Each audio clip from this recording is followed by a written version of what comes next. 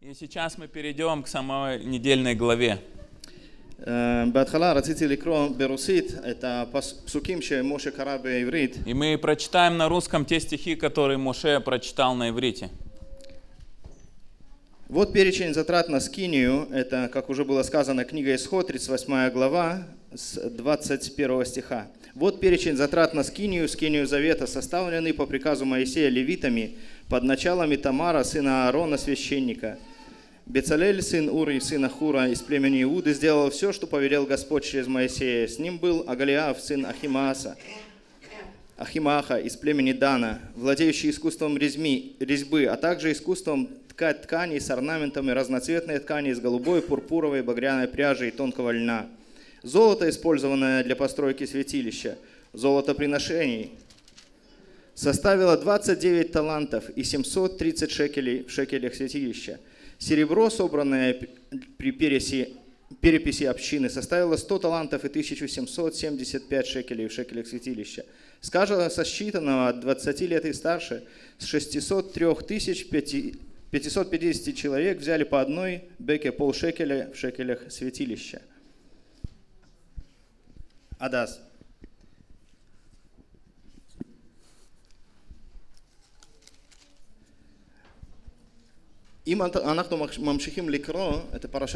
הזה, Если мы продолжаем читать дальше эту недельную главу, אנחנו רואים כמו אה, אצל הנהלת חשבונות, סיפורים, סיפורים מה ומו וכמה זה שקל, כמה מאמצים זה היה וכו' то мы וכו'. можем дальше увидеть такую картину, как у бухгалтера. Что сколько пришло, что сколько весело, сколько денег они собрали. על כל הדברים שעשו בני ישראל כפקודי משה. То есть все приношения, которые Израиль принесли по Божьему повелению.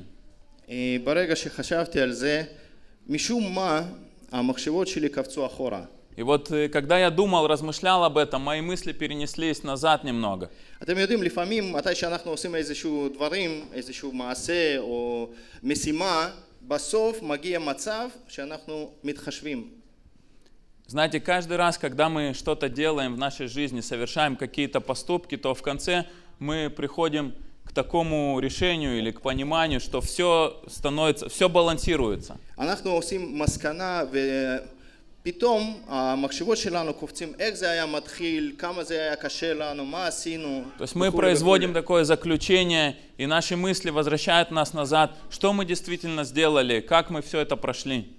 סתם לדוגמה, מתי שאתם חושבים איך עשיתם עלייה, Иногда, Например, вы думаете, как я репатриировался? מה פתאום קופץ לכם בראש? Что вдруг спр- всплывает сразу в вашей голове? То есть есть какие-то пункты, один за другим, как вы об этом начали задумываться, что вы потом сделали, ваше решение, которое вы приняли,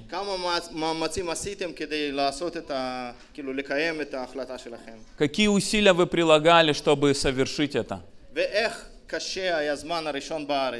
и как тяжело было то время первое, когда вы прилетели сюда. Или наоборот, как бы это было легко. Кому-то было легко. Вот кому-то было легко. Обычно людям тяжело. Потому что ты начинаешь все с самого начала, с нуля. То же самое примерно происходило у сынов Израиля. В Египте у них было то есть они привыкли к Египту, им было все понятно, все знакомо, а здесь что-то новое. היה מאוד קשה, אבל הם התרגלו. Там было нелегко, но они привыкли. נזכר לי סיפור אחד קצר לגבי הקיבוץ בברית המועצות שעבר. То есть я вспоминаю тот кибуц, который был когда-то в Советском Союзе. פעם הפועלים פשוט היו מתנגדים למנהל שלהם עד כדי ככה שרצו להחליף אותו. был такой момент, когда рабочие, они сопротивлялись начальнику, который над ними руководил, так сильно, что хотели просто его поменять. Они посылали кучу жалоб.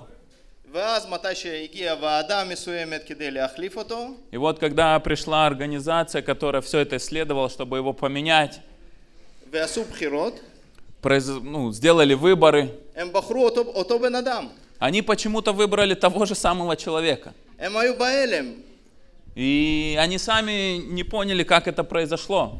ושאלו את האנשים, למה אתם בוחרים אותו בן אדם אם אתם התלוננתם בלי הפסקה? И людей тогда спросили, почему вы выбираете того же, если вы сами жаловались на него?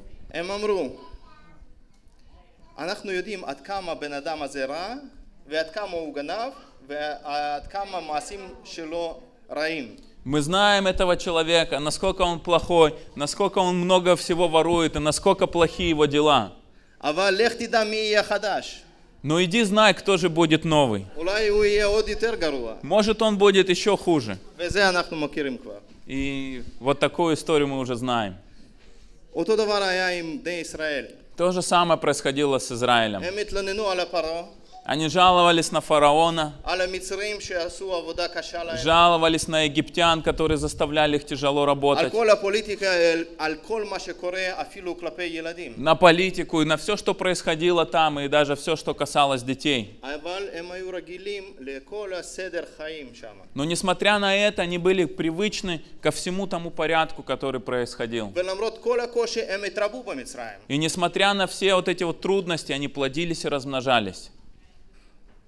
ויש יש לפעמים כזאת סתימה אצלנו בראש, מתי שאנחנו חושבים על שאלה למה בכלל ישראלים יצאו ממצרים? И вот иногда мы задаемся такой вопрос, почему вообще израильтяне не вышли из Египта?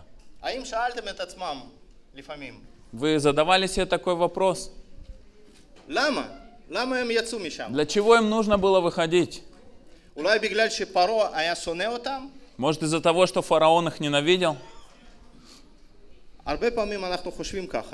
Иногда мы так думаем. Но это неправильно. Фараон, он не, не ненавидел израильтян. Наоборот. Он радовался тому, что есть израильтяне, что есть рабочая сила. לפעמים, איך אומרים, אנחנו בגלל העצים לא רואים את היער. Иногда из-за деревьев мы не видим всего леса. לפעמים מתי שאנחנו קוראים תנ"ך, אנחנו קוראים משהו שכבר מו- מו- מוכר לנו, ואז קופצים הלאה. Иногда мы читаем что-то в Писании, и мы встречаем вещи, которые нам знакомы, и мы просто автоматически перепрыгиваем дальше и пропускаем ту важную суть, которая там находится. אני רוצה לקפוץ לתחילת Сефер Шимот. Я хочу тоже сейчас перепрыгнуть на начало книги Исход.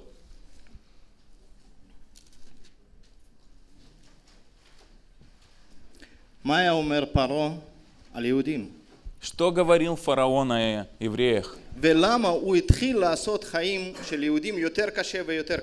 И по какой причине он начинал э, жизнь евреев делать все сложнее и сложнее?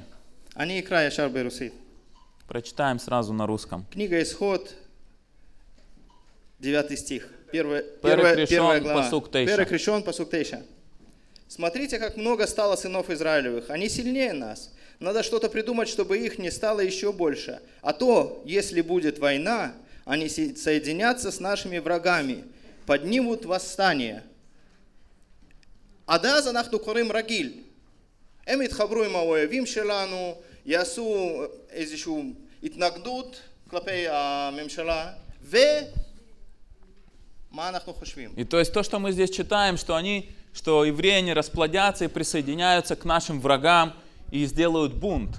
И ואז о מה, чем мы думаем в этот מה, момент? מה, מה אנחנו חושבים? ואז הם ייקחו את כל הסמכות בידיהם. И тогда то, וישלטו что בארץ. произойдет, все евреи захватят всю власть и начнут править в Египте. זה איך שאנחנו חושבים, ואז אנחנו ממשיכים הלאה, למרות שכתוב פה משהו אחר И לגמרי. это то, что мы как бы думаем и предполагаем, но на самом деле там написано что-то другое. בכלל, אחר לגמרי. Совсем другое понимание.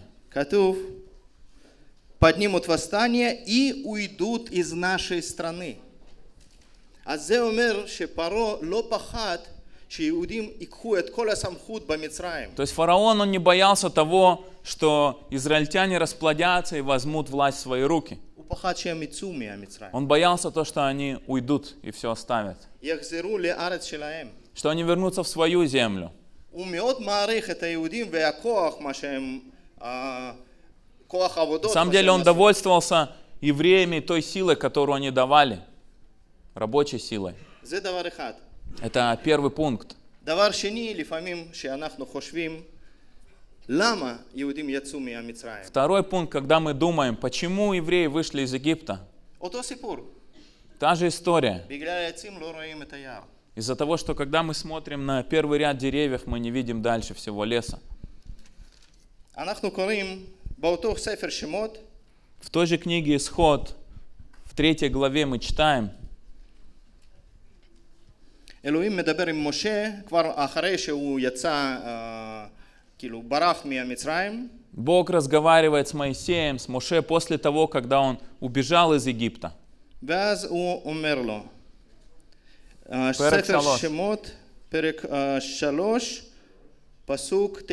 Девятый стих в третьей главе.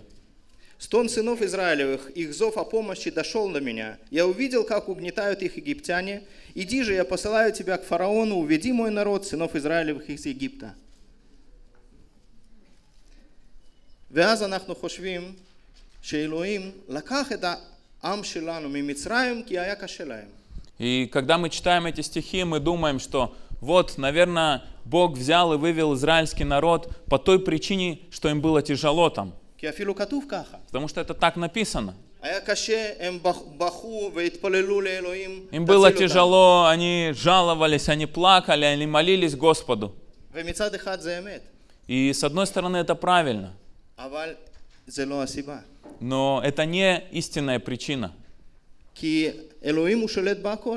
Потому что Бог, Он правит над всем. Ведь Бог может в одну секунду взять и поменять фараона. Может наслать на него какую-нибудь болезнь, и вместо него придет другой фараон.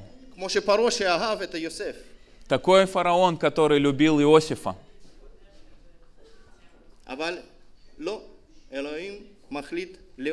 Но Бог так не поступает, Он решает вывести весь народ из Египта. Почему?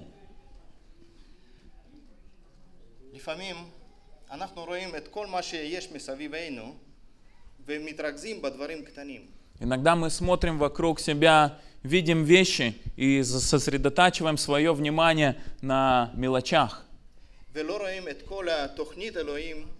но не видим всю картину, которую Бог приготовил.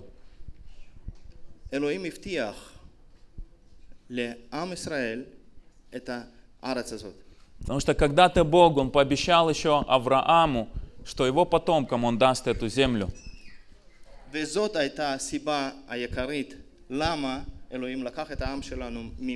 И это та причина, почему Господь взял народ наш и вывел его из Египта.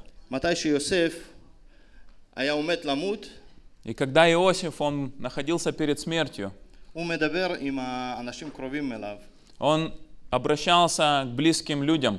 ואומר מילים כאלו. Он сказал им, זה כתוב בש- בסוף אה, ספר בראשית. это написано в, пос- э, в конце книги Бытия, אה, 50 глава, כן, אה, פרק 50, אה, פסוק, אה, רגע, 24. 24 стих. «Умер. Я скоро умру, сказал Иосиф братьям, но настанет день, когда Бог вспомнит о вас и уведет вас отсюда в землю, которую Он поклялся отдать Аврааму, Исааку и Якову. И Иосиф взял сынов Израилевых клятву, что когда Бог вспомнит о них, они унесут с собой из Египта его останки. Вот это был Божий план. Это было его обещание. И это была причина, по которой он вывел Израиль из Египта. И не только почему он вывел израильский народ.